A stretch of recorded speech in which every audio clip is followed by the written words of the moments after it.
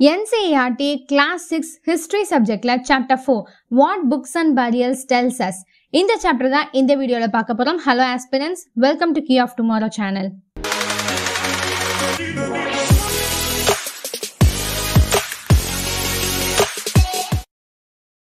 chapter ஃபோருக்கு முன்னாடி இருக்கிற chapter one two and three நம்ம சேனலில் போஸ்ட் பண்ணியிருக்கோம். ரொம்ப டீட்டெயில்டு எக்ஸ்ப்ளனேஷனோட அதோட லிங்க் டிஸ்கிரிப்ஷனில் கொடுக்குறேன். செக் பண்ணி பாருங்க. அதே மாதிரி ஒன் மினிட் நியூஸ் அனாலிசிஸ் அப்படின்ற பேசிஸில் டெய்லியும் நடக்கிற கரண்ட் அஃபேரை ஒன் மினிட்ல உங்களுக்கு வந்து சேர்த்துட்டு இருக்கோம்.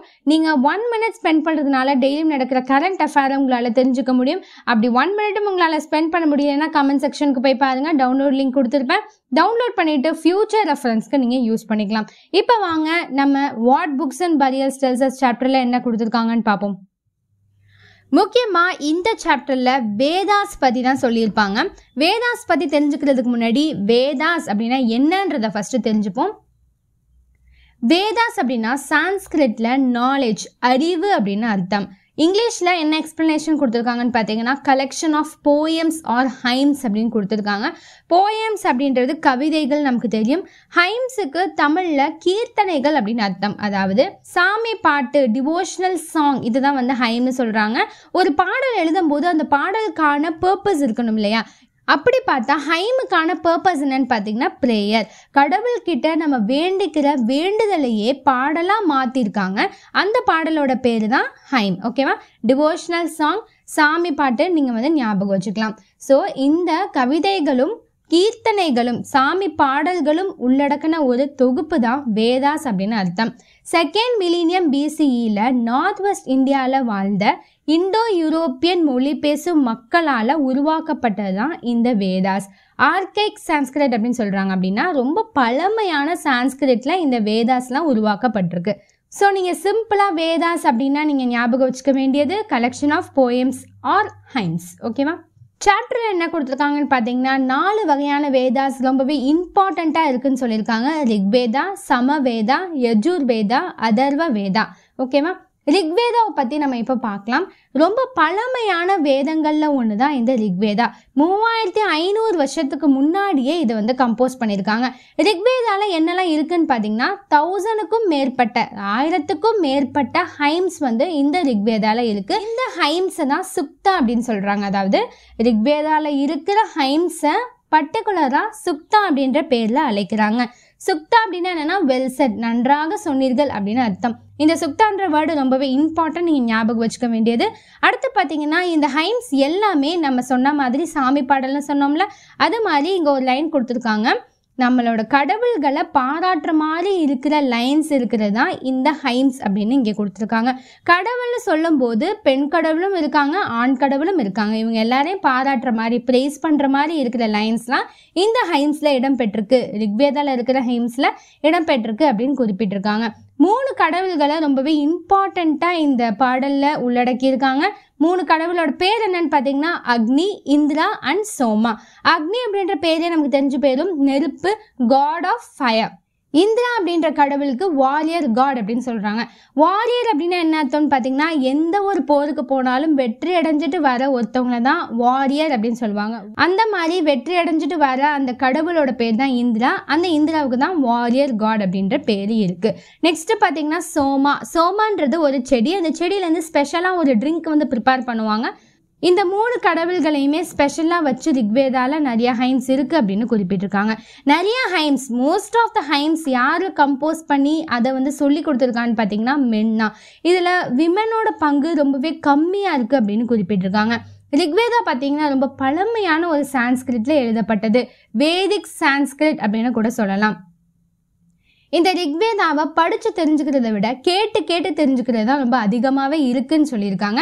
இதுக்கு எவிடன்ஸாக பார்த்தீங்கன்னா பல செஞ்சுரிஸ்க்கு முன்னாடி ரிக்வேதா எழுதப்பட்டிருக்கு. ஆனால் இதை ஃபஸ்ட்டு பிரிண்ட் பண்ணது எப்போன்னு பார்த்தீங்கன்னா இரநூறு வருஷத்துக்கு முன்னாடி தான் next how historian study the Rigveda அப்படின்ற டாபிக் கீழே என்ன கொடுத்துருக்காங்கன்னு பார்ப்போம். சில ஹைம்ஸ் ரிக்வேதாவில் பார்த்தீங்கன்னா ஃபார்ம் ஆஃப் டைலாக்ஸில் தான் இருக்குது டைலாக் மாதிரி நம்ம இப்போ கடவுள்கிட்ட வேண்டிக்கும் போது எப்படி பேசுவோம்? அந்த மாதிரி ஒரு டைலாக்ஸில் தான் நிறைய ஹைம்ஸ் இடம்பெற்றிருக்கு அப்படின்னு சொல்லியிருக்காங்க. இப்போ வந்து புக்கில் போனோம் அப்படின்னா எக்ஸாம்பிளுக்கு ஒரு ஹைம் இங்கே கொடுத்துருக்காங்க. இந்த ஹைம் பார்த்தீங்கன்னா விஸ்வமித்ரா அண்ட் த ரிவர்ஸ் விஸ்வமித்ரா அப்படின்றது ஒரு சேஜ் ஓட பேர். சேஜ் அப்படின்னா என்னென்னா முனிவர். ஒரு முனிவரோட பேர். அப்புறம் ரெண்டு ரிவர்ஸ் ஓகேவா அந்த ரிவர்ஸோட பேர் என்னென்னா பீஸ் அண்ட் சட்லஜ் இது நீங்கள் இம்பார்ட்டண்ட்டாக ஞாபகம் வச்சுக்கணும். இந்த ரெண்டு பேரோட இருக்கிற ஒரு ஹைமை இங்கே கொடுத்துருக்காங்க. பார்த்தீங்கன்னா விஸ்வமித்ரா சொல்கிறாரு O rivers come down from the mountain like two swift horses அப்படின்னு ஒரு டைலாக் ஃபார்மேட்டில் இருக்குது பாருங்கள் அதை சொல்கிறதுக்கு தான் இந்த எக்ஸாம்பிளை இங்கே கொடுத்துருக்காங்க. இந்த two rivers Beas and Sutlej அப்படின்னு இங்கே வந்து குறிப்பிட்டிருக்காங்களே இந்த ரெண்டு ஆறுகளுமே கடவுளாக கும்பிடப்பட்டது. ஓகேவா கேட்டல் ஹார்சஸ் அண்ட் கேரியட்ஸ் இந்த டாப்பிக்கில் என்ன கொடுத்துருக்காங்கன்னு பார்ப்போம். அதுக்கு முன்னாடி கேட்டல் அப்படின்னா கால்நடைகள் அப்படின்னு அர்த்தம். ஆடு மாடு இதெல்லாம் இருக்குல்ல இதெல்லாம் தான் கேட்டல்னு சொல்கிறாங்க ஹார்சஸ் அப்படின்னா உங்களுக்கு தெரியும் குதிரைகள். கேரியட்ஸ் அப்படின்னா தேர்கள். ஓகேவா சாமி தேர்லாம் இழுப்பாங்க இல்லையா? அந்த தேர்களை தான் கேரியட்ஸ் அப்படின்னு இங்கிலீஷில் சொல்கிறாங்க நிறைய ப்ரேயர்ஸ் ரிக்வேதால கேட்டில் சம்மந்தப்பட்டதாகவும் சில்ட்ரன் எஸ்பெஷலாக பையன் சன்னை சம்மந்தப்பட்ட ஒரு ஹைமாவும் ஹார்சஸ் சம்மந்தப்பட்ட ப்ரேயர்ஸும் தான் நிறைய வந்து இந்த ரிக்வேதால இருக்குன்னு சொல்லியிருக்காங்க. ஹார்சஸ் பார்த்தீங்கன்னா பேட்டில்ஸில் யூஸ் பண்ணப்பட்டிருக்கு அந்த காலத்தில். ரிக்வேதா எழுதின காலத்தில் வார்களில் அதாவது போர்களில் யூஸ் பண்ணப்பட்டது தான் இந்த ஹார்சஸ் அதனால ஹார்சஸ் பற்றி நிறைய ப்ரேயர்ஸ் இருக்குது பேட்டில்ஸ் எல்லாமே எதுக்காக சண்டையிடப்பட்டிருக்குன்னு பார்த்தீங்கன்னா நிலத்துக்காகவும் நீருக்காகவும் தான். ஓகேவா சண்டை போட்டு ஜெயிக்கிறவங்க தோக்குறவங்க இடத்துல இருக்கிற மக்களையும் கால்நடைகளையும் கேப்சர் பண்ணிட்டு வந்துடுறாங்க. அந்த கேப்சர் பண்ணப்பட்ட அந்த மக்களையும் கால்நடைகளையும் ஸ்லேவ்ஸாக வச்சுருக்காங்க. ஸ்லேவ்ஸ்னால் அடிமைகளாக அவங்க வச்சுருக்காங்க. ஓகேவா ரெகுலர் ஆர்மி எதுவுமே இங்கே கிடையாது. அதாவது இப்போ பார்த்தீங்கன்னா இந்தியா பார்டரில் இந்தியன் ஆர்மி எப்போவுமே அலர்ட்டாக இருப்பாங்க. ரெகுலராக இருப்பாங்க இல்லையா? அந்த மாதிரி ரெகுலர் ஆர்மி இங்கே கிடையாது. ஆனால் அசம்பிளிஸ்லாம் பேசப்பட்டிருக்கு. அசம்பிளிஸை உருவாக்கி அங்கே வந்து மக்கள் வந்து மீட் பண்ணி இந்த போர்களை பற்றியும் போருக்கான அமைதியை பற்றியும் பேசப்பட்டிருக்கு அப்படின்னு இங்கே குறிப்பிடுறாங்க. இந்த போர் பேசுகிறதுல பார்த்தீங்கன்னா முக்கியமாக ஆண்கள் தான் நிறைய பேர் இருந்திருக்காங்க. ஆண்கள் வந்து லீடரை சூஸ் பண்ணியிருக்காங்க அந்த போருக்கான லீடரை சூஸ் பண்ணியிருக்காங்க அப்படின்னு இங்கே சொல்லியிருக்காங்க அதே மாதிரி பார்த்தீங்கன்னா வெல்த் அங்கே கிடைக்கிற செல்வங்கள் தோக்கிற இடத்துல இருந்து எடுக்கிற செல்வங்கள் எல்லாத்தையுமே அந்த போருக்கான லீடர்ஸ் தான் வந்து வச்சுட்டு இருந்திருக்காங்க சிலதை வந்து ப்ரீஸ்டிட்ட கொடுத்துருக்காங்க. சிலதை வந்து மக்களுக்கு இடையிலே வந்து அதை டிஸ்ட்ரிபியூட் பண்ணியிருக்காங்க. ஓகேவா அந்த மாதிரி இங்கே சொல்லியிருக்காங்க. நெக்ஸ்ட் பார்த்தீங்கன்னா words to describe people in Rigveda. மக்கள் அப்படின்னு சொல்கிறதுக்கு என்னென்ன வார்த்தைகள்லாம் ரிக்வேதாவில் யூஸ் பண்ணியிருக்காங்க அப்படின்னு நம்ம பார்க்கலாம். ரெண்டு குரூப்பாக இதை பிரிச்சிருக்காங்க. ப்ரீஸ்ட் ராஜாஸ். ப்ரீஸ்ட் வந்து பிராமின்ஸ் அப்படின்னு அவங்கள சொல்லலாம். இவங்க வந்து நிறைய ரிச்சுவல்ஸை பெர்ஃபார்ம் பண்ணுவாங்க. ரிச்சுவல்ஸ் அப்படின்னா சடங்குகள். சாமிக்கு சம்மந்தப்பட்ட சடங்குகளை வந்து பெர்ஃபார்ம் பண்ணுறவங்கள தான் ப்ரீஸ்ட் அப்படின்னு சொல்கிறாங்க அடுத்து பார்த்தீங்கன்னா ராஜாஸ். ராஜாஸ் அப்படின்னாலே நமக்கு என்ன தெரியும்? ராஜா அப்படின்னாலே ஒரு பெரிய நாட்டை வந்து ஆளுவாங்க. அவங்களுக்கான ஒரு கேபிட்டல் சிட்டி இருக்கும். அந்த சிட்டியில் ஒரு பெரிய பேலஸ் இருக்கும். அதில் தான் அவங்க வாழ்வாங்க. அடுத்து அவங்களுக்கு பிறக்க போகிற பையனை தான் அடுத்த ராஜாவை அனௌன்ஸ் பண்ணுவாங்க. இந்த மாதிரி தானே நமக்கு தெரியும். ராஜாஸ் அப்படின்னா ஆனால் ரிக்வேதா காலத்தில் இருக்க ராஜாஸ்க்கு எந்த ஒரு கேபிட்டல் சிட்டிஸுமே கிடையாது பேலஸ்லாம் எதுவுமே கிடையாது அவங்களுக்கான ஆர்மிஸும் கிடையாது அவங்க டேக்ஸுமே கலெக்ட் பண்ண மாட்டாங்க.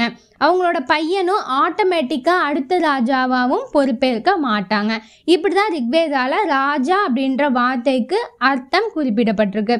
இன்னொரு ரெண்டு வார்த்தை மக்கள் மக்கள் கம்யூனிட்டி அப்படின்னு சொல்கிறதுக்கு குறிப்பிடப்பட்ட ரெண்டு வார்த்தை என்னென்னு பார்த்தீங்கன்னா ஒன்று வந்து ஜனா இன்னொன்று விஷ் ஜனா அப்படின்றது நம்ம பொதுவாக ஜனங்க அப்படின்னு சொல்லுவோம்ல பீப்புளுக்கு மொ மொத்தமாக இருக்கிற மக்களுக்கு ஜனங்க அப்படின்னு சொல்லுவோம் இல்லையா? அந்த மாதிரி ஜனா அப்படின்ற வார்த்தை இங்கே இருக்குது அதே மாதிரி விஷ் விஷன்றதுமே மொத்த பீப்புள் கம்யூனிட்டியை குறிப்பிடுறதுக்கு ரிக்வேதால சொல்லியிருக்காங்க.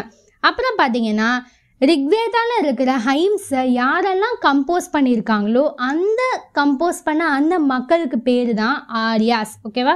இந்த வார்த்தை ரொம்பவே இம்பார்ட்டன்ட் ஆரியாஸ் அப்படின்னா யாருன்னா ஹைம்ஸை ரிக்வேதாவில் இருக்கிற ஹைம்ஸை கம்போஸ் பண்ண மக்களோட பேர் தான் ஆரியாஸ். அவங்களுக்கு ஆப்போசிட்டாக செயல்படுவாங்கள்ல அவங்க பேர் தான் தசாஸ் ஆர் தஸ்யாஸ் அப்படின்னு அர்த்தம். ஓகேவா? தசா அப்படின்னா அதுக்கு மீனிங் என்னென்னா ஸ்லேவ் அடிமைகள். ஸ்லேவ்ஸ் வந்து விமனாகவும் இருக்கலாம் மென்னாகவும் இருக்கலாம். இவங்க வந்து வார் நடத்துகிறாங்களே ஒரு போருக்கு போகிறாங்க அந்த போரில் வந்து தோத்தவங்க எல்லாத்தையுமே கேப்சர் பண்ணி இங்கே கொண்டு வந்துடுவாங்க அப்படின்னு முன்னாடி பார்த்தோம் இல்லையா? அந்த கேப்சர் பண்ணி கொண்டு வரவங்களை தான் தசா அப்படின்னு பேர் வச்சு அவங்களுக்கு அடிமைகளாக வச்சிட்ருக்காங்க. Silent sentinels the story of the megaliths இந்த டாப்பிக்கில் என்ன கொடுத்துருக்காங்கன்னு பார்ப்போம். மெகாலித் அப்படின்னா என்னன்னா பிக் ஸ்டோன்ஸ் பெரிய கற்கள் அப்படின்னு அர்த்தம். மெகா அப்படின்னாலே பெருசு தானே. அப்போ பெரிய கற்கள்னு அர்த்தம் அப்படின்னு ஞாபகம் வச்சுக்கோங்க. இது என்னன்னா பரியல் சைட்ஸை மார்க் பண்ணுறதுக்காக மக்களால் யூஸ் பண்ணப்பட்டது. இப்போ யாரோ ஒருத்தவங்க இறந்து போகிறாங்க அப்படின்னா அவங்கள வந்து புதைச்சி அது மேலே வந்து மார்க் பண்ணுறாங்க பெரிய கற்களை வச்சு.